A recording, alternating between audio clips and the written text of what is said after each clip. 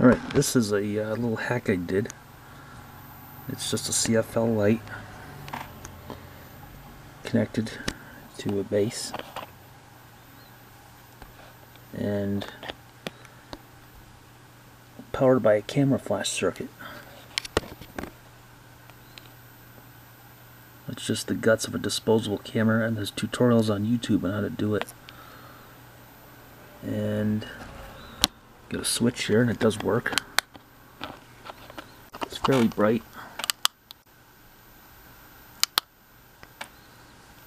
But about half as bright as it would be in, real life. And it's powered by two C batteries. I'll see if I can open it for you. I think I'm going to be able to do it without putting the camera down.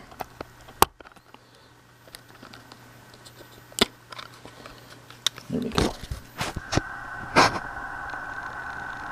Focus is powered by two C batteries. Got a switch down there, that's original. The wires just go up through there. Go into there. Go into the camera flash circuit. And it goes into the light. So this is just a a uh, it's like a gun container, Ice Breakers candy container at the top of it, and that's the bottom. That was done with a label maker.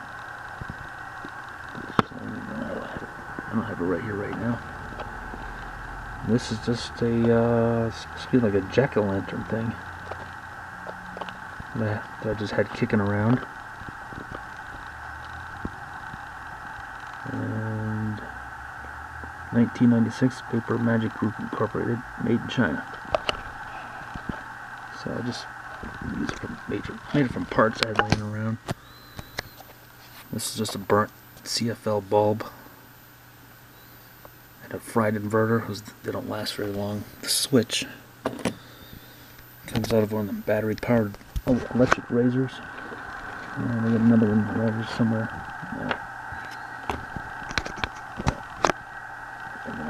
Just uh, went through there. Soldered onto there. Turns that on. Like that. And then you get that light flashing.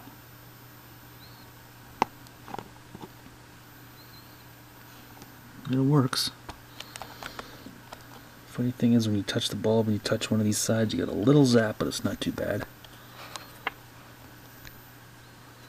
So I hope you guys like this. And thanks for watching.